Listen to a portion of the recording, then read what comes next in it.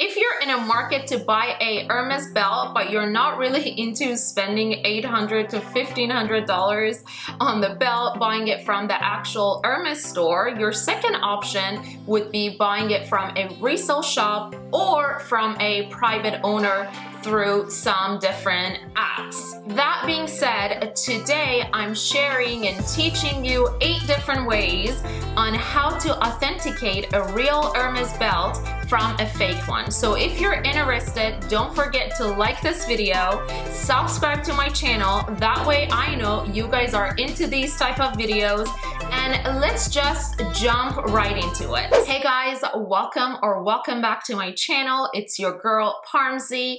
As you may know from my previous fashion related videos, I work at a resale shop. I'm a buyer at the resale shop. So all I do is authenticate designer products on daily basis. When it comes into buying pre-owned designer items, I highly recommend buying it from a well-known resale shop, either online or your local stores. As far as online shops goes, I highly recommend the Real Real because they do actually have a team of people who authenticate each and every item that comes through. They also guarantee you will receive an authenticated designer item. Now that we know where to buy the Hermes belt, let's start from the packaging. I have both fake and real belts, so each step I'm gonna show you the difference and we'll go from there. The Hermes packaging, it's very well known. They all come in this iconic orange box. It has such a luxurious feel to it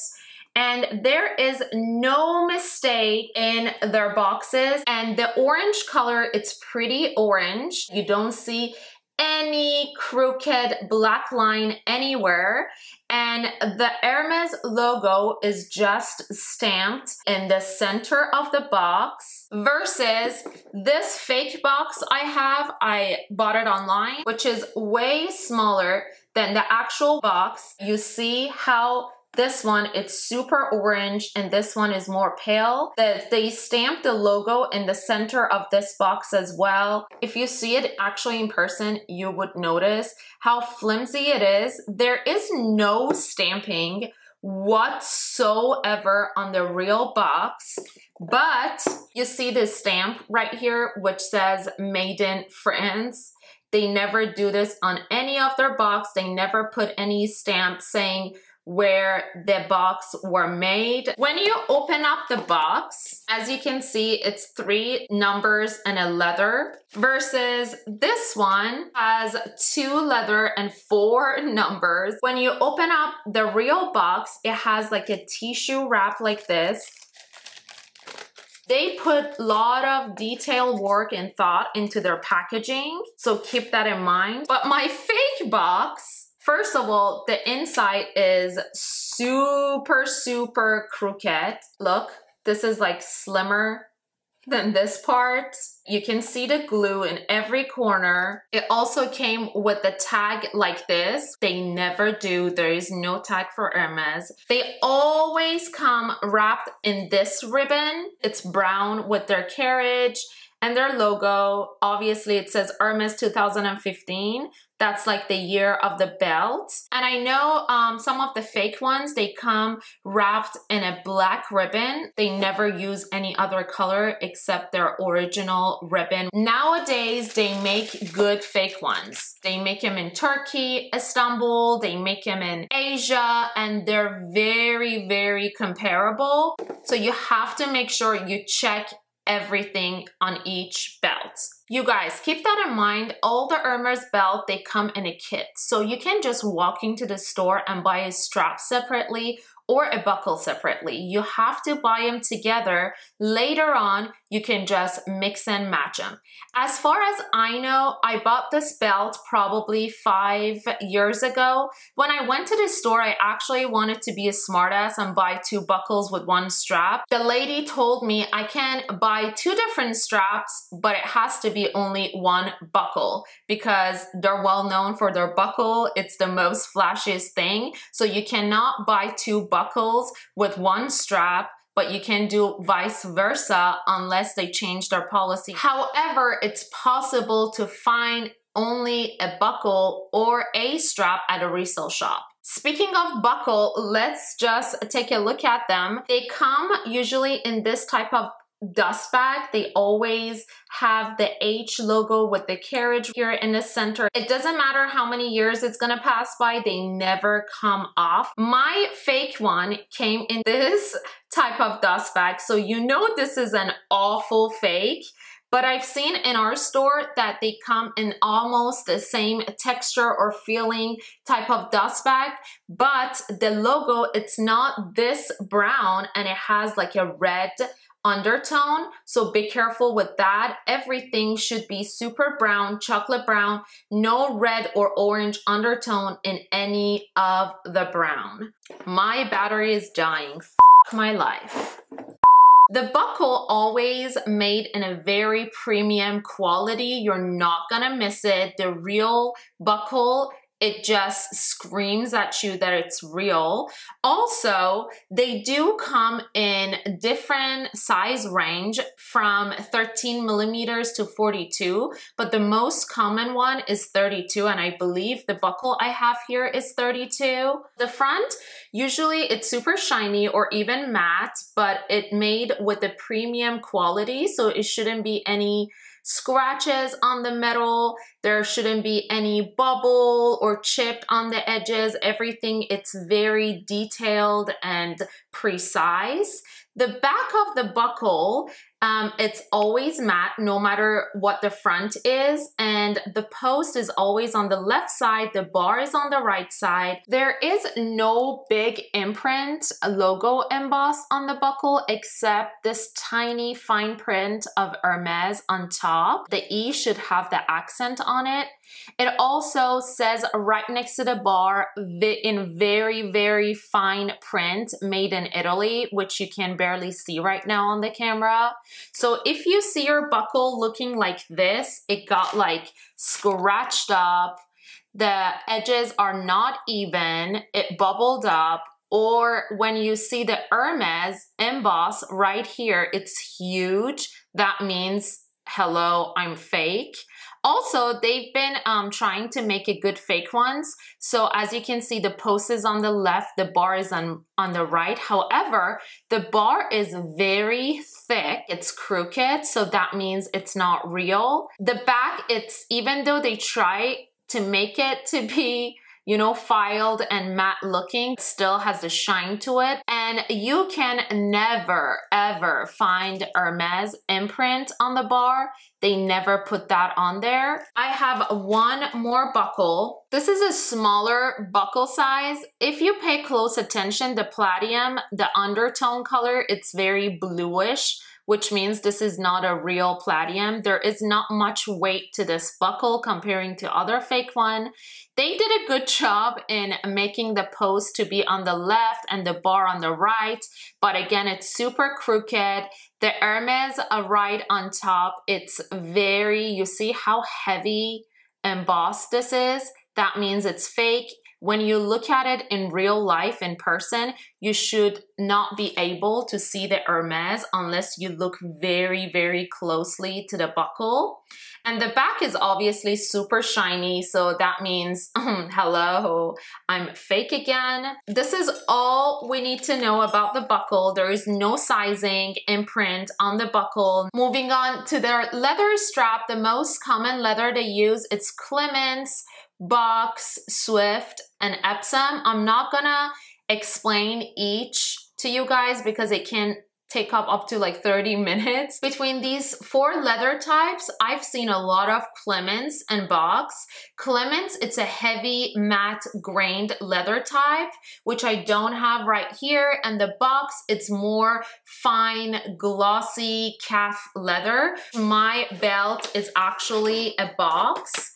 So this is how the leather strap looks like. It is a bit shinier than normal. If you pay closer attention to the leather, you see how thin it is, but it's at the same time is double-sided. So they usually make belts double-sided with different colors. The texture of the belt, it's super soft. Comparing to the fake ones, this is supposed to be a Clemence, which is everything except being a Clemence leather. It has like a plastic rubbery look if you can hear it. It actually is very thick. However, it's double-sided, so they did try their best, but the glue is super thick. The leather feels like plastic. Sometimes they bubble up. They smell like chemical. So that's when you know the belt is not real. Also, I have one more fake strap.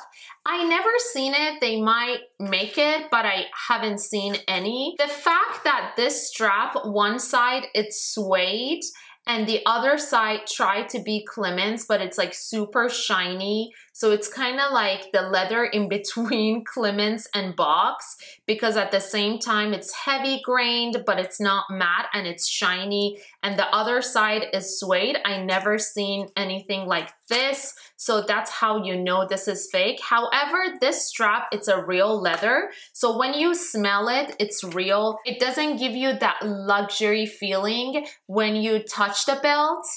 When you look at the belt, the stitching, it's very, very important. They take their time. Everything is by hand, so they really pay close attention to their stitching. If they make a belt with the crooked stitch, they're not gonna sell it. The stitching size, it's all the same, not crooked. There is no space in between them. Besides the stitching, one more important thing is the holes.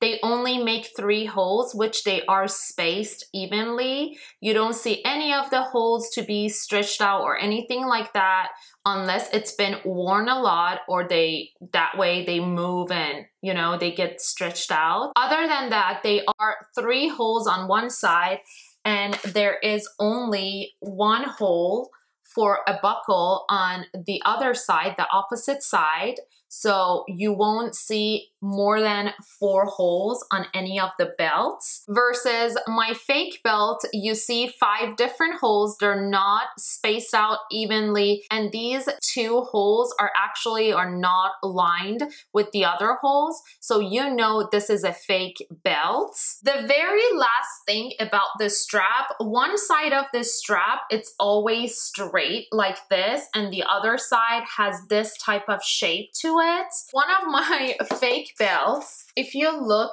the both sides are very straight and that shows it's fake versus this one, they try their best to make sure one is more straight than the other one, but still you see how it looks. It just doesn't look real. The last thing about the straps that you wanna really pay attention, it's the stamping. They always have stamping on their belts where it's not gonna get faded or ruin. It's always on this end of the belt where the buckle is not. The first thing you see, it's made in France. All the belts needs to have that. And then you see the sizing, which is 90 here in centimeter. They never have their sizing in inches. It's a European brand, so it needs to be in centimeter. Also, based on a year and the model, they have more stamping. Like this one is leather C in square which means what year the belt was made. And these two are different things they add. I forgot what they are, but some of the belts, they have this codes and some they don't. But the main thing you want to pay attention, made in France, the sizing should be in centimeter. A leather, just one leather should be in circle or square, which represent the year of the belt. If you look at my fake one, you see it's on the right side, but there are only two stamps. One 40 over 100, which doesn't make sense. That's not a right one. As I said, there is no inches. It should be all in centimeter. And they only put Hermes made in France here. They try their best, but the quality of the stamp is not so well if you see it in person. They are a bit crooked. It just doesn't show on the camera. My last fake belt, they did a great job because they were like, oh, F it, we're not gonna um, spend more time on it. So they did not even mention made in France. And I don't know if you guys can see it. Let's see. It has a sizing, but it's so like, this is so bubbly and grainy. You can't even see the sizing. It says 40 over 100 again. What else? The last, last thing I would um, recommend, if you're buying it from a resale shop, if they can provide you with the receipt, especially when you buy it from a private owner, make sure if they have the receipt, to show it to you because some of these companies, they even make fake receipts and invoices. First thing first, they all come with an orange authentication card. Honestly, I don't know what happened to it. We had it. I think I kind of lost it in between moving to different places. They usually come in an envelope for the invoice. Let me try to find it. This is how the envelope looks like. They all come in this type of envelope. My fake belt was actually in a very, very similar envelope. But again, as you can see, this has more red undertone comparing to this one. When you open up both, the real envelope just says Hermes.com on the left side versus the my fake one says all different cities on one side plus the hermes.com which shows it's fake. They never mention different city on there. So if you see something like that you know it's not real. Even the hermes print it's not similar. The top one is the real one and the bottom it's fake like the leathers are not all in the same size versus the top one. Make sure when you're looking at the receipt, it's just like a regular feeling receipt. It's thicker than the normal receipt. It's glossy on one side and the other side is matte. When you're looking at the receipt, there is a imprint, but very pale, of Hermes carriage and the Hermes logo Right below, it says Hermes of Paris, the store that you're buying the Hermes item from, their address, the date, and it goes on. You see how the Hermes, it's pale right here, and this is how it should look like. Comparing to my fake belt receipt. I don't know what they were thinking, but I guess they tried to give me that this is a final sale item, which usually all their products are not final sale. You can go to the store within a week or so, I believe, and you can exchange it for something else. You can't necessarily get your money back, but you can exchange it with some other items. There is no emboss, and it keeps saying the same thing that this is the final sale on the whole invoice. They had a nerve to include orange authentication card. I wish I had my authentication card. This is huge on the card, which they never put it like that.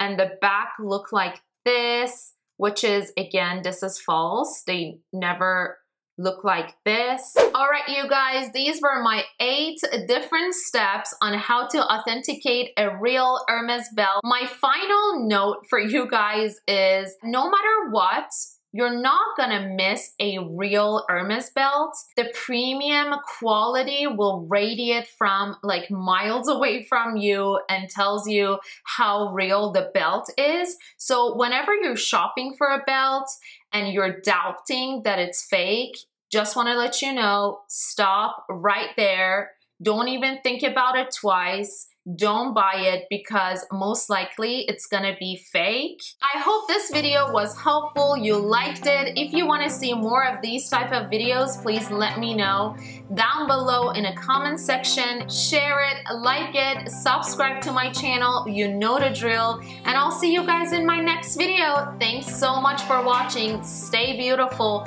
Bye.